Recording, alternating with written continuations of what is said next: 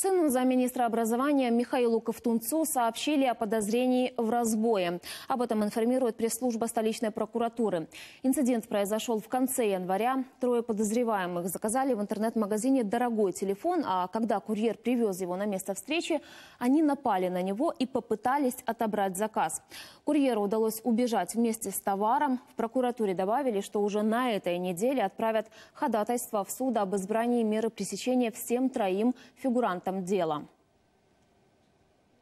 Юнак, якому в суботу повідомлено про підозру, є третім фігурантом кримінального провадження, розпочато за фактом розбійного нападу на кур'єра інтернет-магазину. На сьогодні, е, вирогідніше всього, ми будемо просити домашній арешт, оскільки інформація щодо е, притягнення їх е, раніше до відповідальності на даний час відсутня.